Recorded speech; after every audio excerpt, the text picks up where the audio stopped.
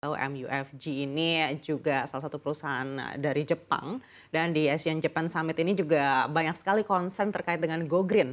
Lalu seperti apa langkah konkret yang mungkin akan dilakukan Adira untuk bisa mendukung transisi energi ini dalam pembiayaan? Iya, uh, thank you Mbak Maneka. Jadi secara pembiayaan kami sudah mulai belajar membiayai kendaraan listrik. Ada uh, mobil listrik, motor listrik, bahkan ada sepeda listrik memang penetrasi dari uh, kendaraan EV atau kendaraan listrik Indonesia masih tahap-tahap awal, jauh di bawah negara maju.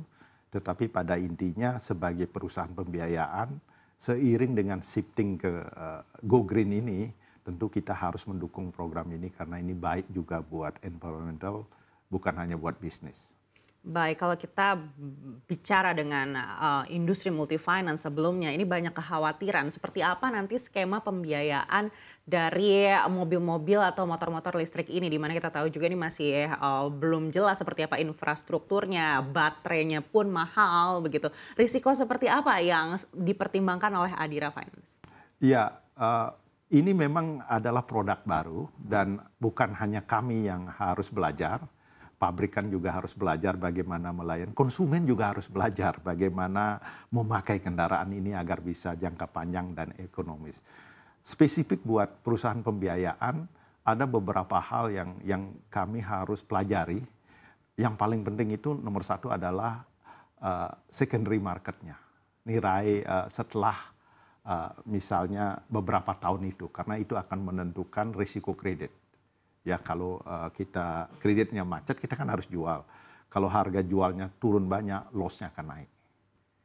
Yang kedua adalah durability-nya, durability dari produk ini.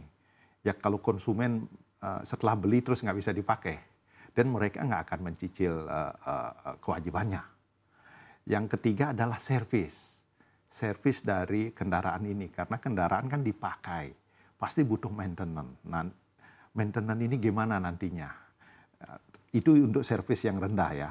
Tapi untuk isu yang paling gede di uh, kendaraan listrik itu lebih dari antara 50, 40 sampai 60 persen harga kendaraan itu adalah harga baterai.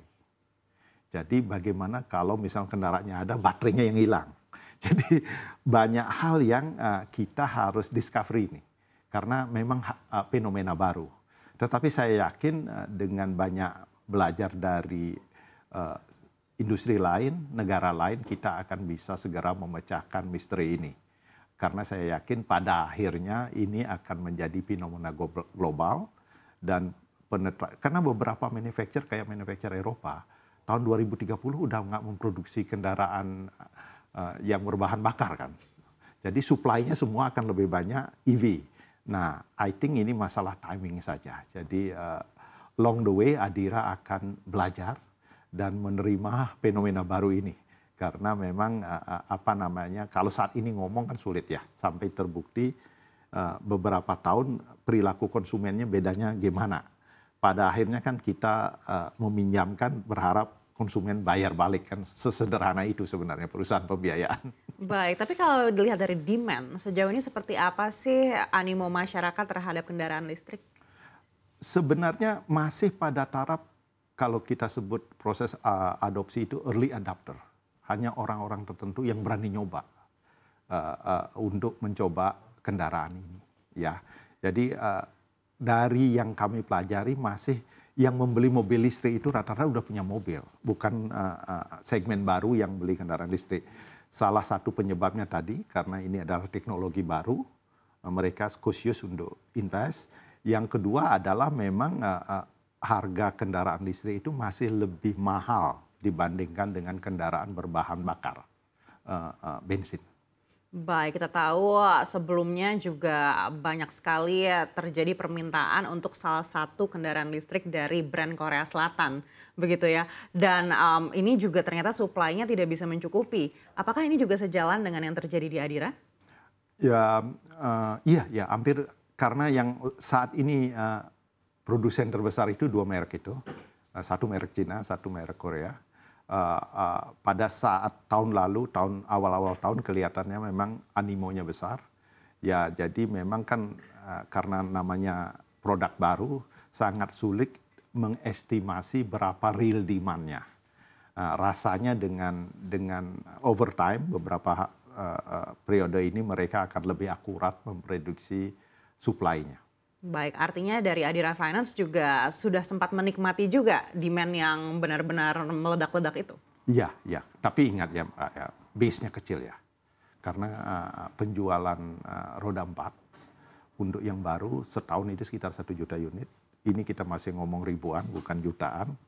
Uh, sementara penjualan mo motor, motor baru itu sekitar 6 juta unit. Hmm. Jadi ini masih early stage lah kalau saya bilang. Baik, lalu bagaimana dengan secondary market untuk kendaraan listrik ini? Apakah juga sudah banyak peminatnya yang mengajukan kehadiran?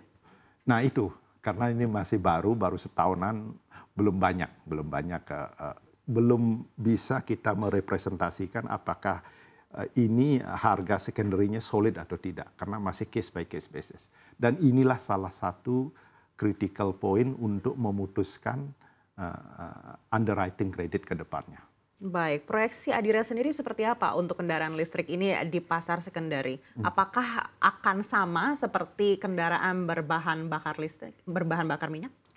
Ini ini ini uh, sulit menjawabnya, tetapi fenomena ini kan fenomena global. Saya yakin nanti kita akan ketemu sedikit ada perbedaan antara uh, kendaraan yang berbahan bakar minyak dengan kendaraan EV atau listrik ini ya tadi uh, uh, karena secara teknikal sebenarnya kendaraan listrik itu lebih simpel, partnya juga lebih sederhana, uh, maintenance-nya lebih rendah. Cuman sekarang isunya adalah kalau kalau di kendaraan BBM itu harga dari mesin itu jauh lebih rendah daripada harga baterai. Dan dan kita uh, salah satu isunya apakah nanti misalnya bagaimana asuransinya kalau kehilangan. Kalau kehilangan uh, baterai dari mobil atau motor itu bisa 50% value-nya hilang. Sementara kalau kendaraan konvensional nggak begitu. Jadi uh, saya bilang bahwa kami lagi mempelajari dan kami akan juga berkomunikasi dengan teman-teman di negara lain, terutama juga termasuk ekosistemnya MWFG, bagaimana di tempat lain menyikapi ini. Uh, kami punya network di Thailand, affiliate company juga, mereka juga lagi belajar bagaimana uh, menyikapi fenomena ini. Baik, berikutnya terkait dengan pendanaan. Nah, seperti apa trennya saat ini dari perbankan? Ya, uh, first of all uh, kita sudah mulai start aktif di pendanaan karena setelah COVID penjualan kami mulai uh, naik ya. Semoga tahun ini bisa normal seperti tahun 2019 ya kelihatannya bisa balik ke sana. Nah, seiring dengan kenaikan pembiayaan tentu kita akan cari funding. Nah di Adira kita beruntung di bawah grupnya Danamon. Sekitar 45 persen kebutuhan funding itu melalui joint financing dengan Danamon. Berarti kami tinggal mencari dana sekitar 55 persen. Adira Finance ini punya rating yang bagus. Di, di dalam negeri kita triple A paling tinggi untuk rating global kita triple B plus, malah lebih tinggi dari Indonesia. Jadi kami juga di samping meminjam ke bank lokal, kami juga menerbitkan obligasi. Uh, ini uh, dua bulan lalu kita dapat 2 triliun. Oktober ini mungkin kita akan isu sekali lagi 2 triliun. Dan kami lagi mau balik ke uh, offshore, ke luar negeri untuk cari pinjaman uh, uh, asing jadi uh, kami mulai back to normal uh, aktiviti pendanaan dan sejauh ini dengan rating dan reputasi serta kinerja Adira uh, kami belum menemukan kesulitan untuk cari funding. Baik, pertimbangannya seperti apa Pak untuk mencari dana dari offshore? Semua basisnya ada tiga. Nomor satu tentu karena kita cari funding untuk dijual, cost of fund is salah satu kriteria paling penting mana yang lebih uh, kompetitif atau lebih murah. Nomor dua tentu diversifikasi, karena kita nggak mau tergantung dari satu sumber. Ya kita punya empat sumber itu kita atur yang mana lebih kompetitif dan porsinya kita atur. Yang terakhir tentu kita mempertimbangkan namanya asset liability management. Duration antara pinjaman dengan aset kami itu harus agak mendekati sehingga kami tidak punya risiko likuiditas.